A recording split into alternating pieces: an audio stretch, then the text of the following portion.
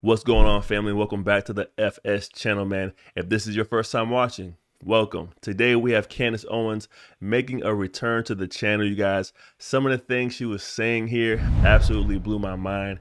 And it just goes to show you that anybody can change and growth is a lifetime process. So without further ado, let's get into the video. Come on. Michael Knowles, welcome to the podcast. Wonderful to be here on your new show. It's really nice. I don't know if you and I are even going to have a show on YouTube pretty No, soon. I wanted to get in before we're totally new. yeah, I was like, you know, let's have some fun on mm-hmm. our potential way out. But I've been radically converted now. On my whole show yesterday, I realized I just want to shine a light on transgenderism. I want to give them a platform to share their experiences. I, And on top of that, I want a lot of jabs of any vaccines that you've got Mm-hmm. uh, in uh, this year or next year when there will be no rigging in the election. I believe every single thing the liberals tell me. whatever YouTube policies say, I pretty much believe. Yeah. But you said something that I was really compelled by uh, when we did the Twitter audio thing. I know I, I sound like a boomer. The Twitter Twitter audio thing. I, I don't know. I don't He was on the. Palm Pilot. Yeah. What is it called? Twitter Spaces. Mm-hmm. And you said maybe it's not even a question about whether or not we have free speech anymore, or, or if it's we're allowed to say true things. Like, are we allowed to say true things anymore? And I kind of wanted you to really expand on that because I think it's super deep. That's the more egregious predation by big tech right now. It's not just that we can't say whatever we want, because even the society with the most free speech and the greatest belief in voicing your opinions, they've always had certain limitations, right? You can't make threats, you can't uh, engage in obscenity, you can't. Uh, there are always taboos, there are always standards, there are always norms.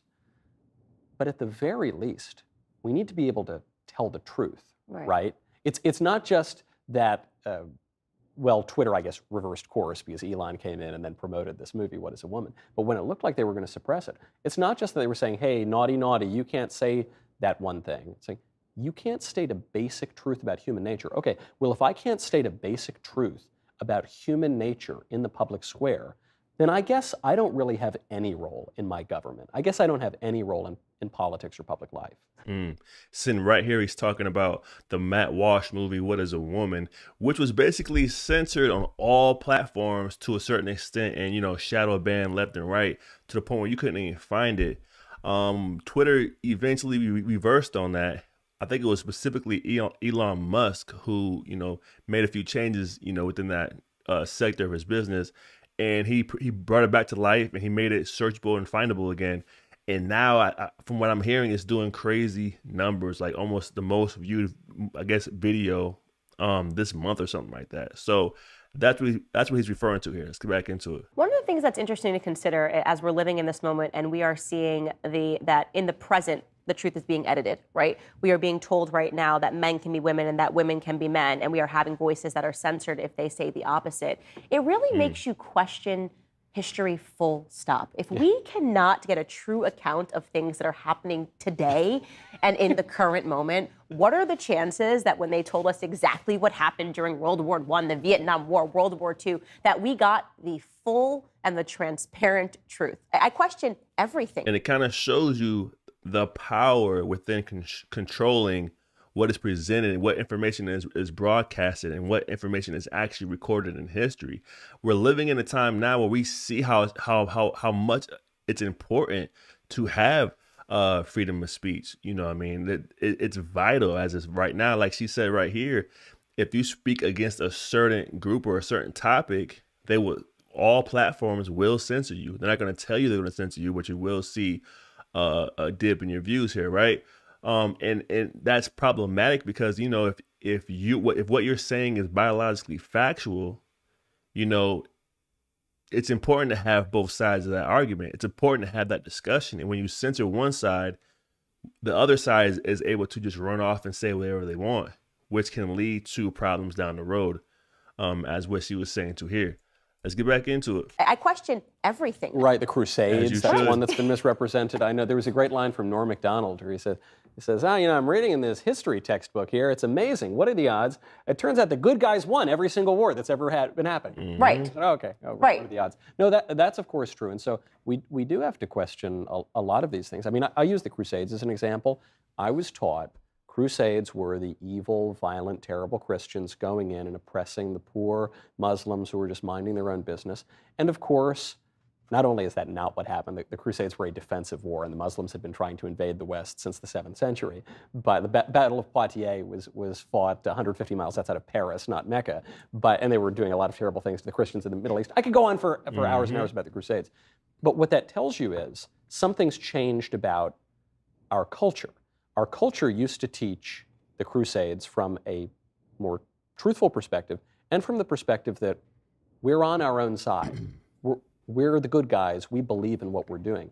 Now it's totally the opposite. The way history is taught, we're always the bad guys. Mm. We've always transgressed. We need to give up our culture, give up our standards, give up our norms, give up our belief even in what a human being mm. is. And we're seeing the, the apotheosis of that. That's mm. very interesting because it's, it's sort of the same about Civil War. You cannot interject with talking about Civil War about anything but slavery. Like it was like the only thing, the only thing yeah. we were ever fighting about was about slavery. It was this one great moral sin, and there was so much more going on at the time. There was so much more that was inspiring uh, people to fight. I mean, obviously, the poor people that were fighting never had slaves. Of course. And when you say mm-hmm. these things, they freak out. It's like, how dare you take away from this race narrative, especially now when in America everything is viewed via the race lens. You know, it needs to be black versus white all the time. And what I believe there are the two primary reasons they make everything about race. You know what I mean? Well, the obvious reason is for the news outlets, it's financial gain, right? Those stories get the most traction, so they want to try to control that narrative, even though it may be harmful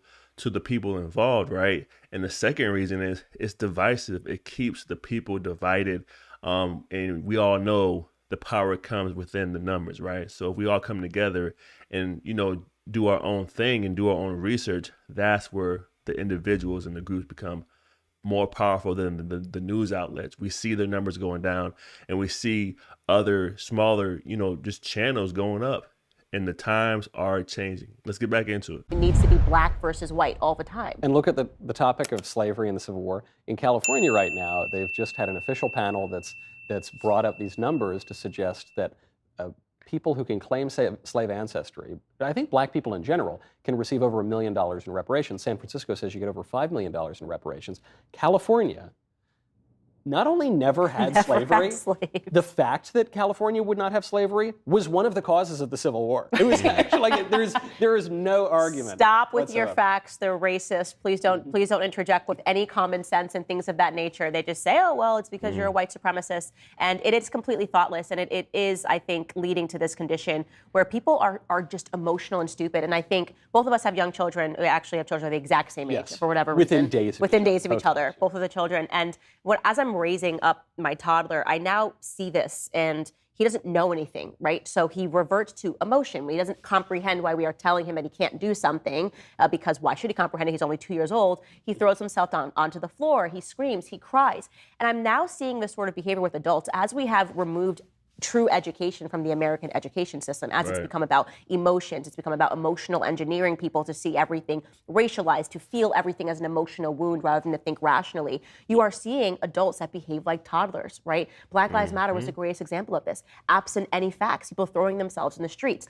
Literally, I look at them and I say, you behave worse than my two year old, by the way, worse than my two year old. And I think that's the point. When you are absent any facts, when you are absent the ability to rationalize and to think logically, this is how you're going and, to and behave. Think- and when you start to think about it, right, you're almost pre-programmed by the media telling you how you should feel, telling you how you should react to certain situations, keeping you emotional so you don't react, you using your conscious mind and making the right decision for yourself and for your family.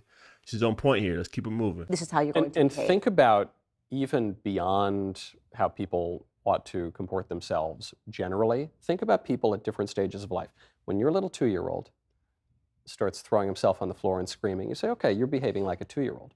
Now, my little goddaughter, your more infant child, probably is just beautiful and wonderful all the time, inspired by her wonderful godfather, mm. you know. And so she, but she will behave in a different way. She's behaving in a way that is appropriate for a 10 or 11 month old. Mm. Your two year old is behaving in a way that's appropriate for a two year old.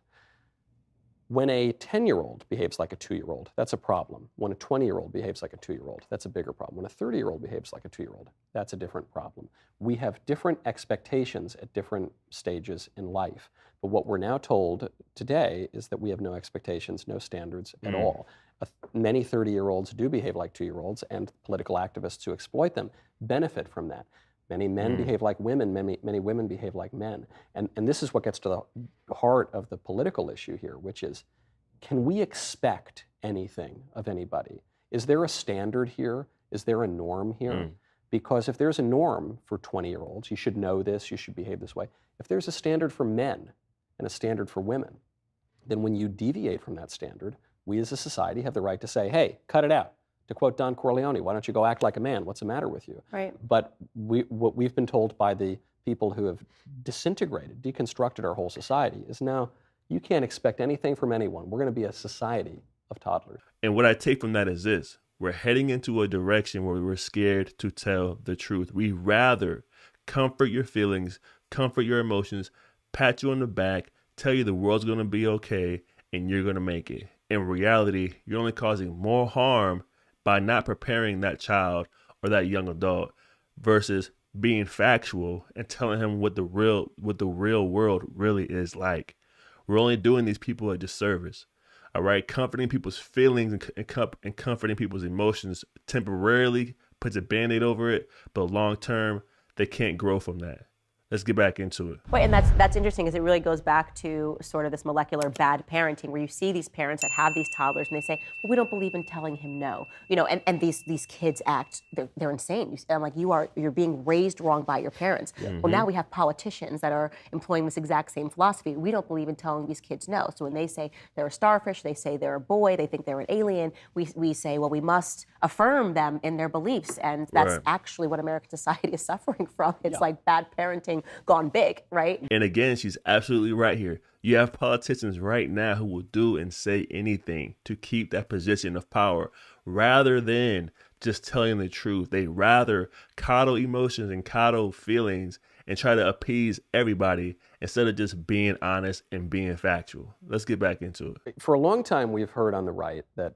politics is downstream of culture. And there's a lot of truth to this, and the movies matter a lot. And actually, movies matter less today. It's more TV that matters, and social media, and the rituals and the ways that we behave. Yeah, of course, that's all true, and that'll affect your political order. It also goes in the other direction.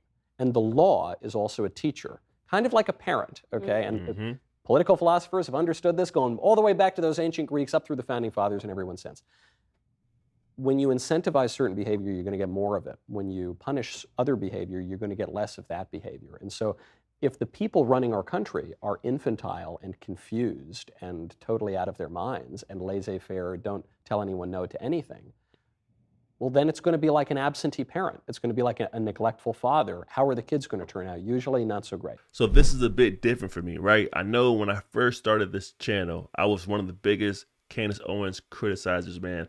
I was like, how can you say that about this such, and such? How can you do that? What's going on here? But as time goes on, right, and we all grow, you know, older, and we're starting to see, you know, the world for what it really is, and I'm starting to get more involved in, in the political side of things and stuff that I actually I actually care about and we actually care about. We're st- I'm starting to see that we have more in common than we do different, and that's okay the link to this full video will be down below in the description box, you guys. Make sure you guys click like, subscribe to this content. And until next time, y'all be safe out there. Peace.